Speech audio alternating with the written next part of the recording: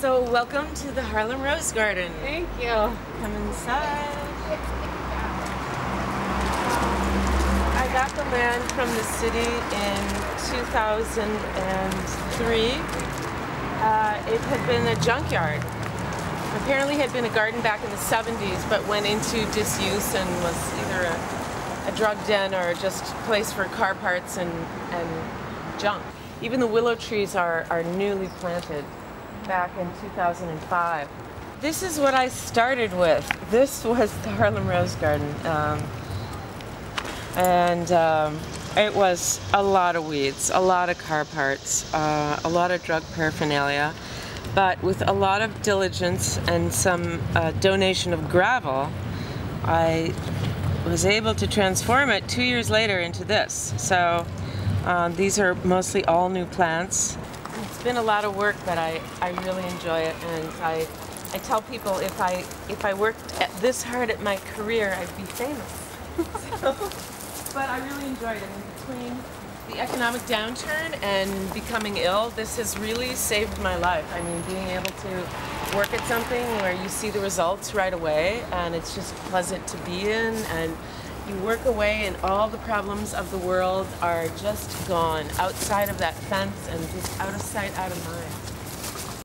The Reiki experience was very calming. It, I didn't know what to expect and I have to say that it was you know, either whether it's kind of psychosomatic or, or I do, but everything seems to be very much calmer down there in that part of my body. So um, I think I would definitely like to go and see him again. Um, that was very interesting. It was great. The meditation I really liked as well. It was not what I expected, especially a guy saying that he really liked listening to Black Sabbath and riding his motorcycle. Um, and um, that I, I, think I would explore too, because again, um, the whole thing about the meditation, both with the meditation and the Reiki, I think a lot of it is um, exercising your mind to allow yourself to concentrate on your inner thoughts and um, or anything that you put your mind to concentrate on and it's like a muscle it needs exercise so I've been I've been working on it and um, not completely regularly but I've been trying and I don't know, my blood pressure is definitely lower than it has been. So something's happening.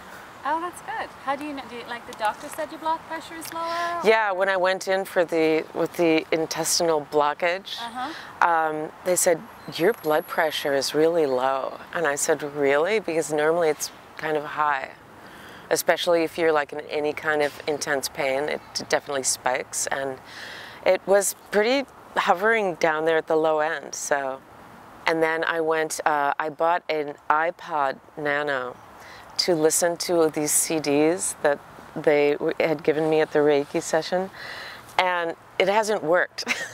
so, out of a lot of frustration, I thought, okay, I'm going to bike down to the Apple store.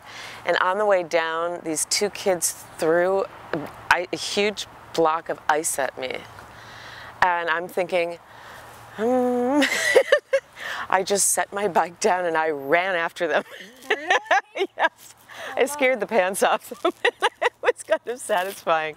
So, and I thought, no, did that ruin the meditation? I thought, no, it did not. just something I had to do.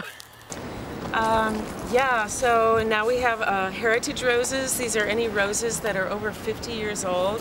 And some of these strains had been brought over by the original Dutch settlers of Manhattan. Oh, wow. Yeah. Um, in the front, we have the famous green rose. And this was set in front of the houses that were uh, members of the Underground Railroad.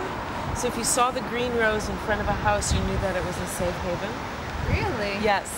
So. Um, but the bad people didn't figure that out? Apparently not. I like what you've been doing because it's kind of suggestions. It's not pushing. It's not, I don't feel any kind of, any kind of guilt if I haven't been keeping up with something, which makes it very easily integrated into my crazy lifestyle. And, um, and I have been working at it, and which makes me kind of want to do it more instead of feeling like I'm obliged to do it. Oh, I'm part of this study. I better get up on it because I have to speak to this camera that's always on me. And um, So uh, no, it's it's definitely starting to become part of my lifestyle, which I like, and um, I look forward to you know exploring further options, and and we still have to do some yoga together.